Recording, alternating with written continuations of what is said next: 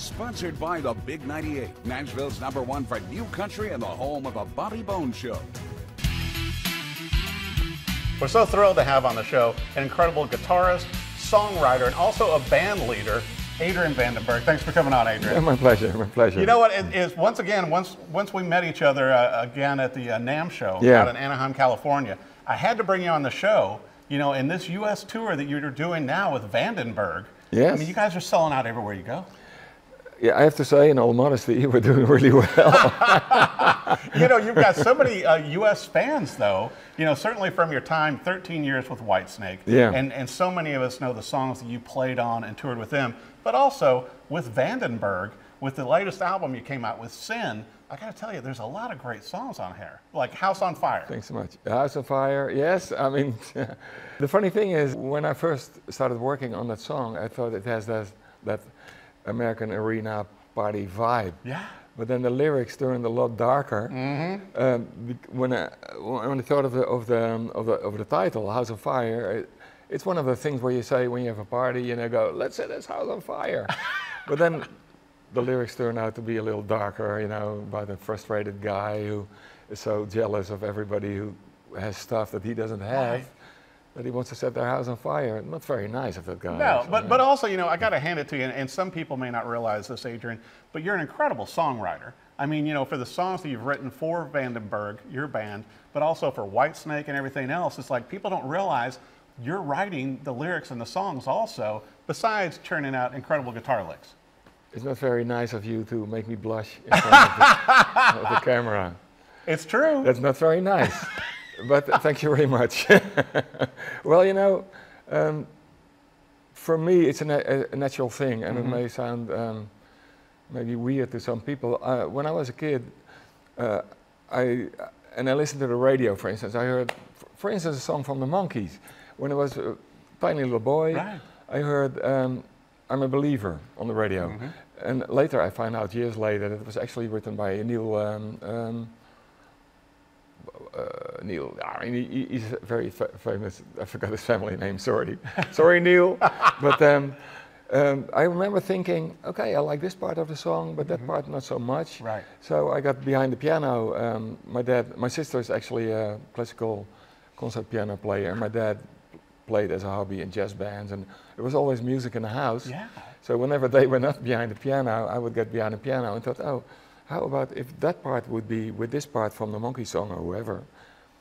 I would like it more. Right. So I started writing songs just, and I thought everybody did that. Yeah. Just like with my painting, I thought, why doesn't everybody paint? Because it's fun, you know? Mm-hmm.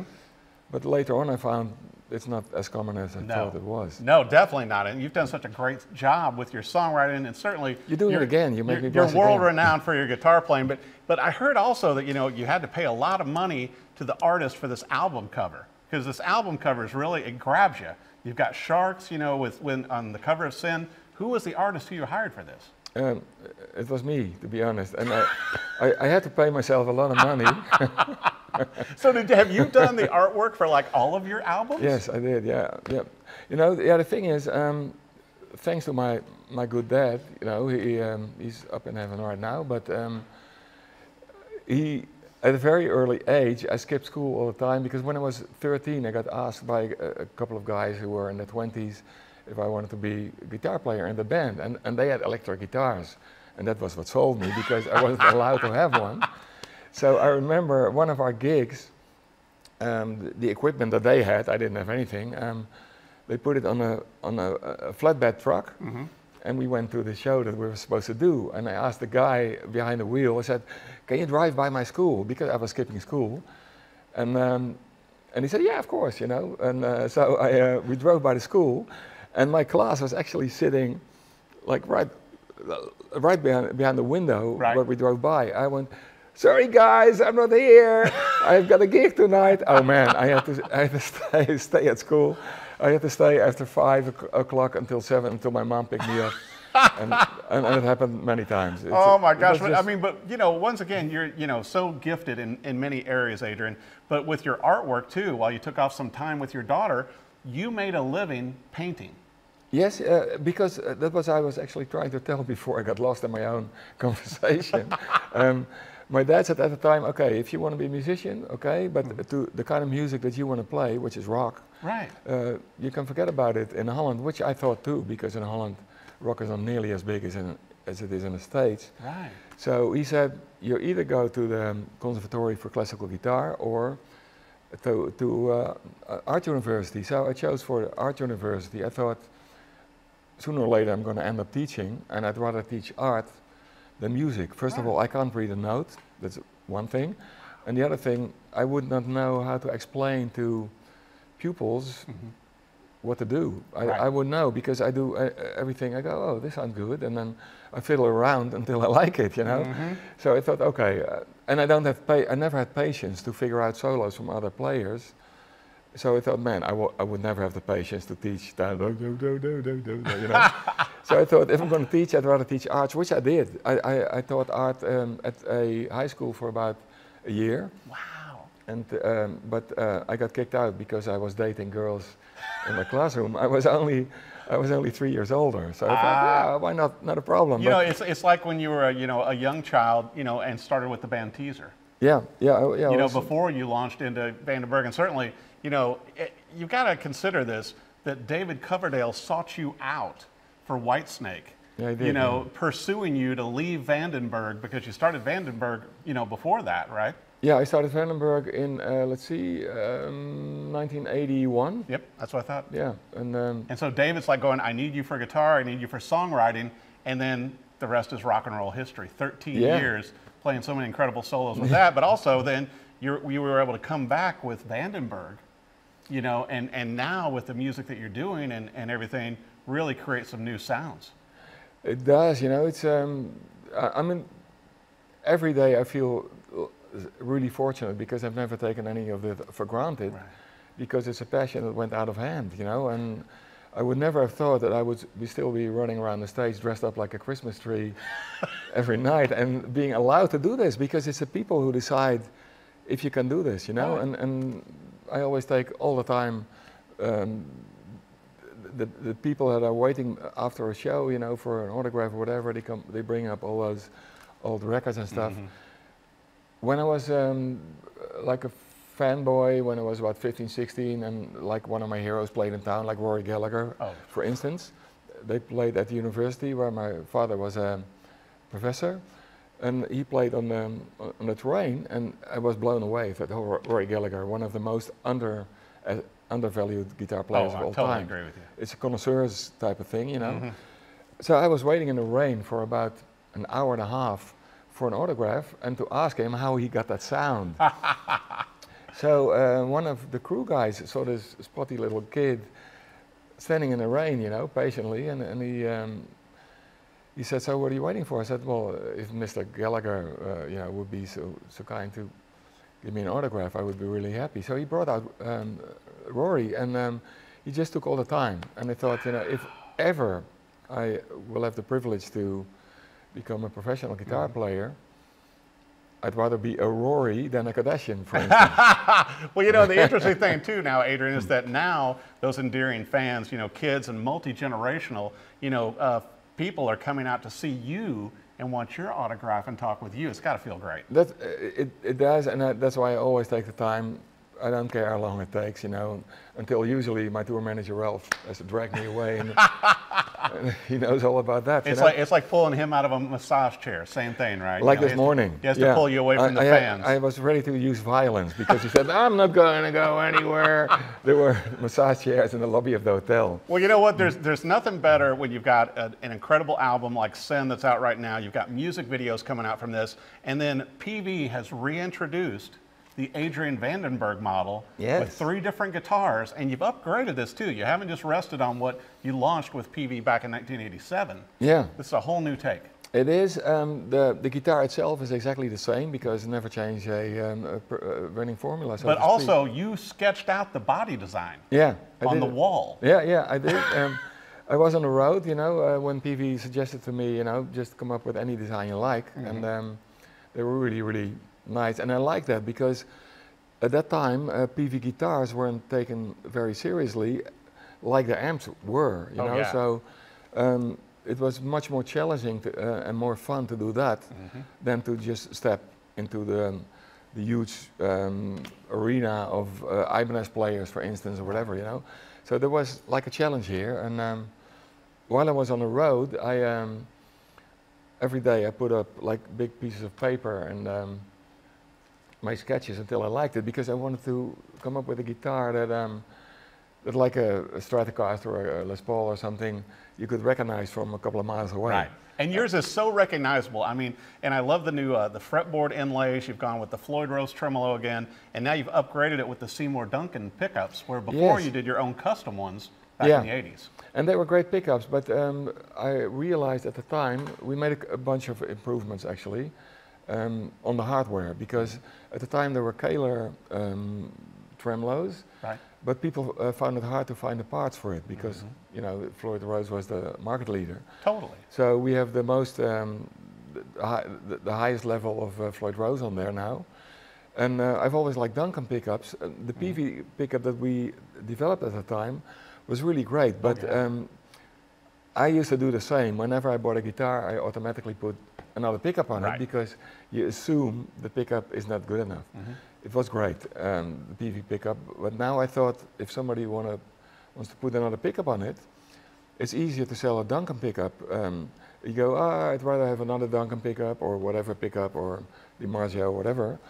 Um, and then they can easily sell it. Uh, uh, when you put on Craigslist list a Peavey pickup, um, uh, no matter how good it is, you know, people. So I thought Right. it, would be good to put Duncan on it standard.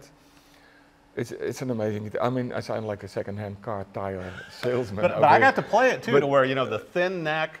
I mean, the feel of the body. It's contoured. I mean, the neck inlays, locking tremolo. I mean, and it's it tr- interesting to me, and I know a lot of other musicians, Adrian, to where now the ones that you came out with in the '80s are collectible. They and, are. Then, and you got a new one now this year. Yeah, the thing is, you know, it's a weird thing. When, when in 1999 I went back to Holland, uh, when Whitesnake dissolved at the time, uh, and I found out that I had to re-import everything I had in the States because I stayed in the States for 13 years. Right. Um, I had to pay income uh, uh, uh, import tax plus VAT on everything I imported. So, th- so I left a whole bunch of Peavey guitars in the States, um, assuming, well, you know, yeah, I, I took about five home and, and my Marshalls and Peaveys and whatever. Right. But a whole lot of stuff I left in the States and sent uh, the Peavey amps and cabinets back to Peavey. You know? So I did the same thing with the guitars. Yeah. Uh, and then uh, over the years, it became a collector's thing. Mm-hmm. And here we are. And here we are. And uh, so people uh, started asking me, yeah, is there any, any Peaveys that you um, want to get rid of? I go, no, because I only have four or five or something. Well, and also now you're working with Quad, also, aren't you? Yes, Cortex on my fly-in rig. Um, what people don't realize is if you t- travel all across the world, you know, you can't always bring your Yes, whole do. setup. Mm-hmm. So I got all these Marshalls and Peaveys and whatever at home. But uh, we do a lot of festivals where you just fly in Yeah. and you fly out. So you want something reliable, sounds as close as possible to my Marshalls and my Soldanos and all the stuff. So I use a quad, quad Cortex, with, which we sampled. We made samples of my modded Marshalls and my special made uh, Soldano amp, Oh yeah. special Bogner amp. So that sound that I use on, uh, on the album, that um, Bob Clearmountain, uh, Bo- sorry, Bob, Bob Marlette. I was going to bring up because Bob produced Sorry, this one again. Bob Marlette is a great guy, and, and so we put together this great guitar sound mixing those amps. Wow. So I wanted to use that sound on stage without having to drag all those amps. So I'm using the Quad Cortex with um, my sampled sounds in there. So it's uh, You can't beat, it, especially for a fly rig. it's great because Yeah, and you uh, used it in a studio as well because you recorded Sin Yeah. between Holland and LA. yeah, it was it was. Um, that's why uh, Coverdale always called me the Flying Dutchman. Flying all over the place. And now you are again, but with Vandenberg. Yes, it's um, well, you yeah, it, it doesn't stop.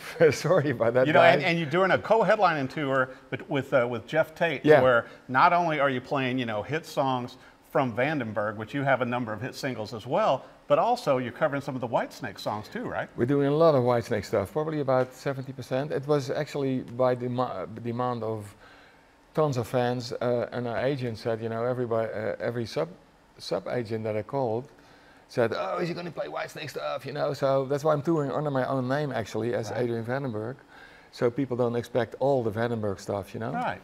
And the, the White But you've got a lot of songs. I got to tell you too, the new album, all these songs sound great. I mean, you've got a couple ballads mixed in there. I mean, you know, the the band that you've amassed with this tour, it seems like this is the best incarnation of Vandenberg you've done. Uh, I'm afraid I have to uh, uh, agree. Sorry, guys, you know, from the past, but they don't play anymore anyway. But um, But you do. I do, and uh, they're not going to get rid of me. You know, um, they're going to have to drag me off stage, kicking and screaming, when I'm uh, 96 or something. You know, around the time I'm going to take a little break. A Little and then, break.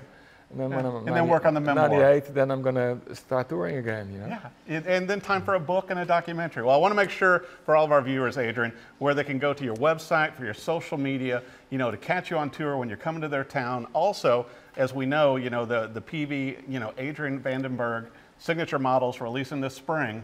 People are going to want to buy those. They may need those signed by you. Besides, you know, album, you need to have this thing on vinyl. The Oh yes, it is. It is? Okay, it good. Is on vinyl, yeah, it is. Yeah. Because uh, just the cover artwork alone, you can hang on a wall. thanks so much. So, but, but where do our viewers need to go, Adrian, for everything, you know, with your website and all that? Yeah, we have um, uh, Vandenberg Band uh, website on Instagram and the Vandenberg one on, and I've got two personal ones, Adrian Vandenberg, both on Instagram and Facebook and, and all that stuff, you know. You guys know where to find me, no problem. Well, and also go see him live. Yes. Uh, you know, on this great tour, a U.S. tour. Also, there's going to be you know a, a Europe and a U.K. tour as well. It's going to keep going. Sin is out now. So many great songs. You've got a music video out. I think get it on vinyl so you've got the artwork. But if you listen to digital, I get it. That's okay, especially if you're in your car. But go see Adrian Vandenberg live, and also check out his new signature Peavey model, which is out now. Yeah. Adrian, thanks for coming on the show. My pleasure, my pleasure.